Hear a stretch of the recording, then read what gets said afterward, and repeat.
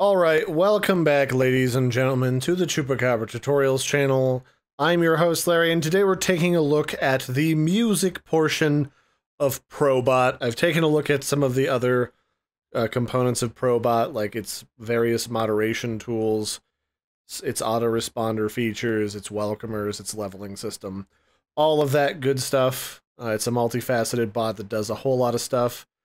But today, we're going to go to the dashboard, we're going to log in to the Chupacabra's Lair server, and we're going to take a look at the music feature. So Probot, like a lot of multi-purpose bots, has the ability to do some basic music playing. It's pretty good quality, and all you have to do is log in and turn the feature on by literally just toggling it on at the top of the screen, although it can be a little weird.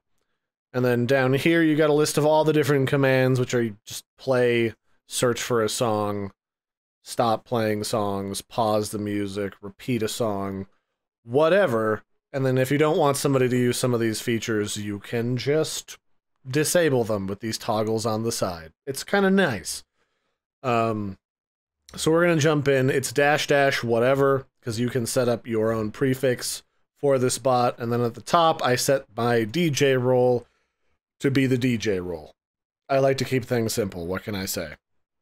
So to get this to work, I've set up uh, a nice little private commands channel on my server, and we're going to search for some NCS music.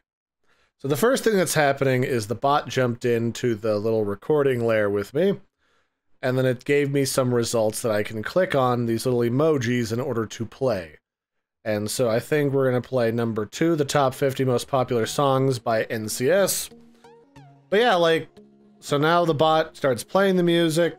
It's pretty good quality audio from the way that it sounds in my headset.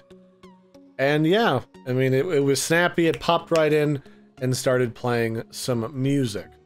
And then we can, of course, look over here. You can add some more stuff to the queue. So let's just do dash dash play Despacito, and it'll just find Despacito and add it to the queue. And then we'll play the hamster dance.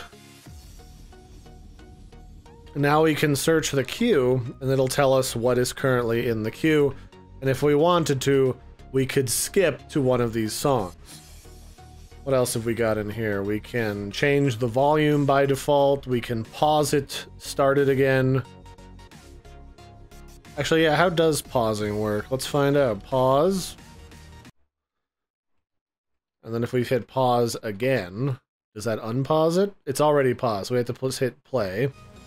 And that will resume the music, and then we can hit stop in order to stop the bot.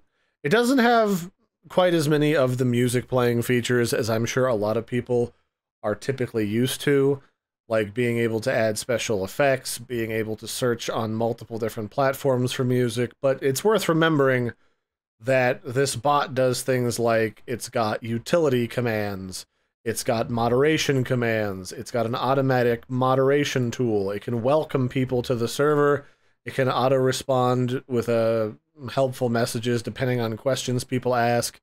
It's got a built-in leveling system. This is actually something that I like a lot. It keeps a detailed log of all the behaviors going on on your server, which I keep track of just to make sure that something isn't breaking or that somebody's not doing something sketchy in the background. You can change colors of certain things. You can automatically assign roles. You can create reaction roles, which I have created so that people can assign themselves a mythological creature of their choice. And then, of course, down here at the bottom, they let you play music if you turn on this feature. And I also just like the fact that you can set up a DJ role because that means that you can set up somebody who's a moderator just in charge of music if it becomes a popular feature, but you don't necessarily have to make them a server moderator. And so, yeah, that's about it, really. Uh, you can change the prefix, you can embed messages. It's good stuff. I like this particular tool a lot, um, especially because the auto moderation features don't require you to pay for premium. I think the premium how do you get premium? I'm not even sure. Let's go to dashboard. Get premium. What does premium get you? You can have a prime server and premium bots at a 50% discount. I'm just not really sure what premium gets you these days. I'm not sure if I ever did. Um, I think so. It, part of this thing is it's got like a daily login game where you can get points and you can spend them on like profile backgrounds and profile badges and ID backgrounds that are specific to this bot. And I suppose if you pay for premium, you get some credits automatically and you unlock some of these as a part of that. Maybe you get a bonus to the XP you gain in this little mini game of theirs. But for the most part, what I care about is less about this game and more just all of the different moderation tools that come along with this bot. I feel like if I was going to get a bot that had games, I'd maybe get one that's specifically built around a game and then everything else is just a bonus.